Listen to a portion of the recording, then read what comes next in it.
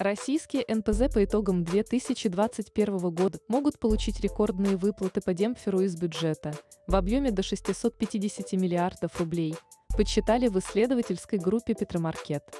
Демпфер – специальный налоговый механизм, в рамках которого государство компенсирует нефтяникам часть разницы между внешними и внутренними ценами поставок, если экспортная альтернатива более выгодна.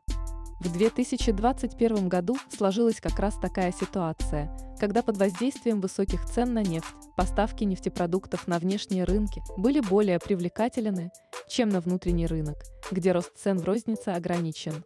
В 2021 году по нашим оценкам, производители моторных топлив получат из федерального бюджета порядка 650 миллиардов рублей за поставку автобензина и дистоплива на внутренний рынок в качестве демпфирующей надбавки.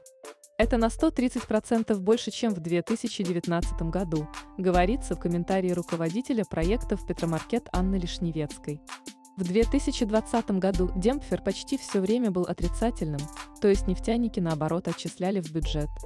При этом общие выплаты нефтяникам в 2021 году, с учетом инвестиционной надбавки, превысят 1,25 триллиона рублей. Инвестиционная надбавка представляет собой субсидию для НПЗ, которые заключили соглашение с Минэнерго и обязались модернизировать мощности для увеличения глубины переработки. По мнению Лишневецкой, данных объемов госубсидирования оказалось достаточно не просто для обеспечения ее прибыльности, но и для поддержания чистой маржи переработки на относительно высоком уровне, в среднем 4000 рублей на тонну для сложных заводов.